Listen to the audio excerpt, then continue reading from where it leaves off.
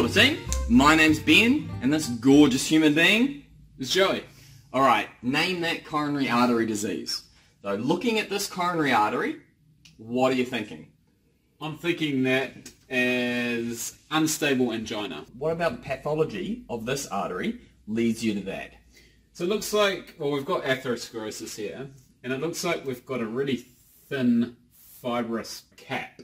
Yeah.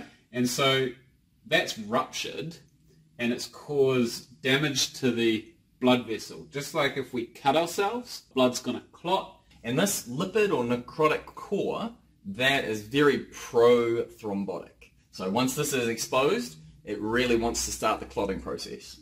If we start getting this clot here, what's the next problem? The next problem is the lumen, which is the amount of space where the blood flows through, is, is decreasing. And it means that we're going to get less blood going through the artery. And that's going to cause ischemia.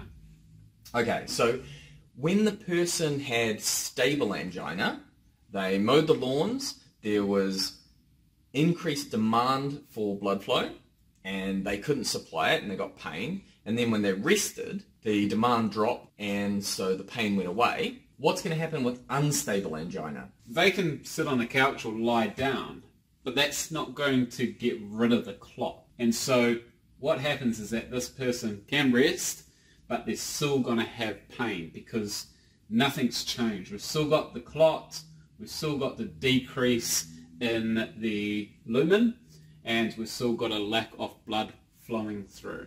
Okay, ischemic heart disease was where stable angina sat. Where does this sit in the spectrum of coronary artery disease? This falls under acute coronary syndrome or ACS. All right.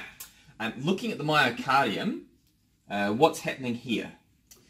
Um, well, not a lot. It's gonna be it's gonna be ischemic and hypoxic, but we don't have any infarction or death to the myocardium because it's a small clot and there's enough space or lumen for the blood flow to for the blood to flow through and reach the myocardium. Yep, it's going to be ischemic and hypoxic, but just enough that no death or infarction occurs. All right.